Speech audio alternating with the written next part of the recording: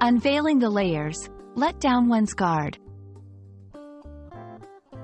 Hello, language enthusiasts.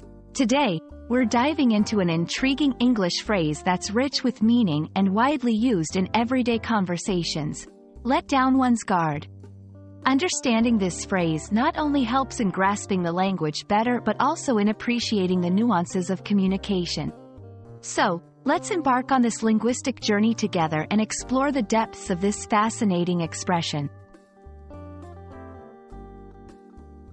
Let down one's guard is a metaphorical expression derived from physical and combat scenarios, where a guard is someone or something that protects us from danger.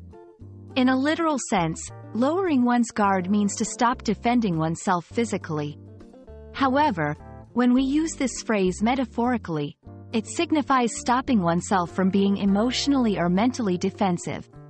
It's about becoming more open, vulnerable, or trusting towards others. This phrase finds its place in various contexts, ranging from personal relationships to professional environments. For example, in a conversation about friendship, someone might say, It took me a while, but I finally let down my guard and shared my true feelings. In a workplace setting, a manager might encourage openness by saying, During these meetings, I encourage you to let down your guard and share your honest opinions. Understanding the cultural context is crucial. In some cultures, letting down one's guard may be seen as a sign of strength and trust, while in others, it might be perceived as weakness. This highlights the importance of being sensitive to the backgrounds and experiences of others when using or interpreting this phrase.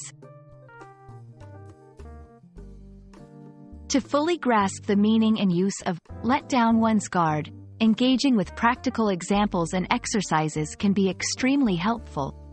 Consider scenarios where this phrase could be used and think about how it changes the tone or meaning of the conversation. Role-playing exercises with a partner, where one person gradually lets down their guard, can also provide valuable insights into the dynamics of trust and vulnerability. We hope this exploration of let down one's guard has illuminated its significance and use in the English language. Embracing the emotional and cultural layers of this phrase can enrich your communication skills and deepen your understanding of interpersonal dynamics. Remember, language is not just about words. It's about the worlds they open up. Happy learning, and may you find the courage to let down your guard in your language learning journey.